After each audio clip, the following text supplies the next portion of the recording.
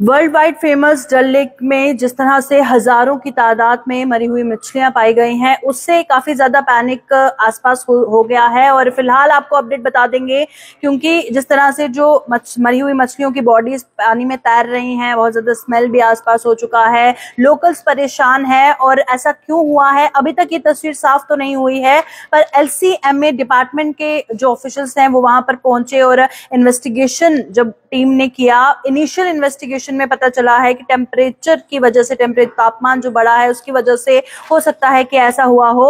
और क्या कुछ कहना है उनका? इस वीडियो में देखिए। ये एक एनुअल अफेयर होता है। एक्चुअली काफ़ी सारे रीजंस होते हैं फ़िश किल के बट जो हमारी साइंटिफिक विंग है, उन, उन्होंने इसको एग्जामिन किया है। एक थर्मल स्ट्रेटिफिकेशन का फनामना होता है। जब टेम्परेचर इरेटिकली बिहेव करता है तो जो वाटर कॉलम होता है, उसका टेम्परेचर चेंज होता रहता है तो उसमें ये हो सकता है।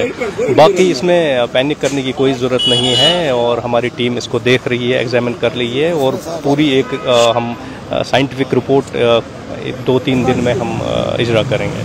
आपको क्या लगता है, सर, कुछ क्या हुए होंगे और जिस तरीके से आपकी टीम काम कर रही है? आधे लोगों का दावा है मशीनरी से आधे लोगों का दावा है कि डल लेक की गंदगी की वजह से हुआ है। हालाँकि डल लेक को बार बार साफ़ भी, शिफाफ भी रखने की कोशिश की जाती। है नहीं, ऐसा ऐसा कुछ नहीं है, जैसा मैंने पहले बताया। थर्मल स्ट्रेटिफिकेशन की वजह से है मोस्ट प्रॉबली दूसरा ये है कि जो लोग बताते हैं पोल्यूशन लोड काफ़ी कम हो चुका है डल पे, और जो हमारा एक्चुअली अगर कुछ लोग ये बोल रहे थे, इसमें ऑक्सीजन की कमी है बट हमारा जो D O level dissolve oxygen level वो हम डिस्प्ले भी करते हैं काफ़ी सारी जगह पे, वो छः से एबो है मोस्ट मैक्सिमम लेक पे। तो इसको प्रॉपरली हम एग्जामिन तब भी कर रहे हैं। इसके अलावा भी, जो प्रिलिमिनरी हमने, मैंने बताया कि थर्मल सर्टिफिकेशन ही रीज़न है।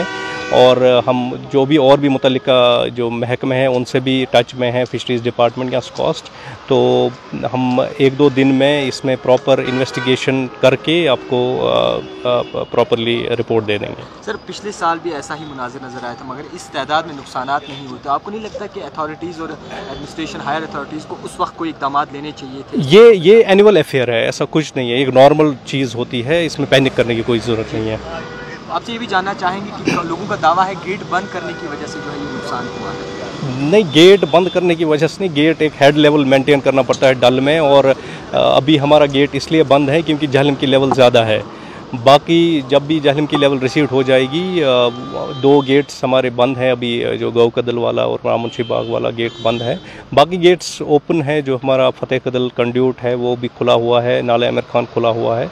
और जो ही जहलम की लेवल रिसीव हो जाएगी तो गेट खोल दी जाएँगे। एलिगेटर का भी जो है ये दावा किया जा रहा है एलिगेटर की वजह से सब जो है इस तरीके नहीं ऐसा कुछ नहीं है। वो एलिगेटर का भी हमने उसको एग्जामिन किया था। वो वन ऑफ़ द फ़िश थी उसका सोर्स देखा जा रहा है उसमें डीएनए एनालिस्ट के लिए भेजा जा रहा है और हमने वो जो और भी डिपा और भी मुतल जो कॉस्ट हैं या उनके जो फिशरीज़ के डिपार्टमेंट है उनसे शेयर की है इन्फॉर्मेशन तो ऐसा पैनिक करने की कोई ज़रूरत नहीं है।